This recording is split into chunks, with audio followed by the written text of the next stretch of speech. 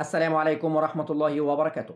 غدا 28 مايو السبت في التاسعة مساء بتوقيت القاهرة. الليفر والريال في ملعب الدو فرانس بفرنسا. تحت قيادة تحكيمية للحكم كليمان تروبانو صاحب الأربعين عام الفرنسي.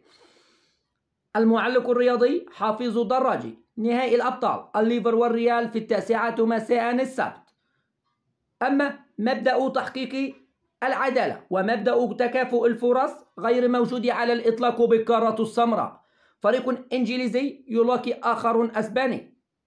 الملعب في فرنسا. هذه هي قمة العدالة وتكافؤ الفرص. فلنبدأ بالليفر. تأسس 1892 وبالتحديد 15 مايو. الملعب أنفيلد. المدير الفني يورغان كلوب.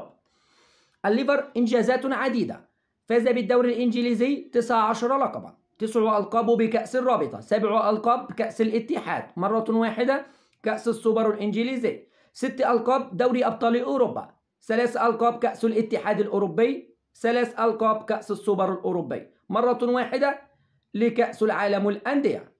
أما كبير القوم في أوروبا والعالم أجمع ريال مدريد تأسس 1902 وبالتحديد 6 مارس 1902 الملعب سانتياغو برنابيو المدير الفني كارلو أنشيلوتي.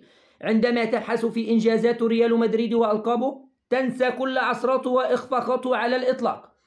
فاز بالدوري الأسباني 35 لقبا 19 لقبا كأس ملك أسبانيا 12 لقبا كأس السوبر الأسباني 13 لقبا دوري أبطال أوروبا. أربع ألقاب السوبر الأوروبي. سبع ألقاب كأس العالم للأندية.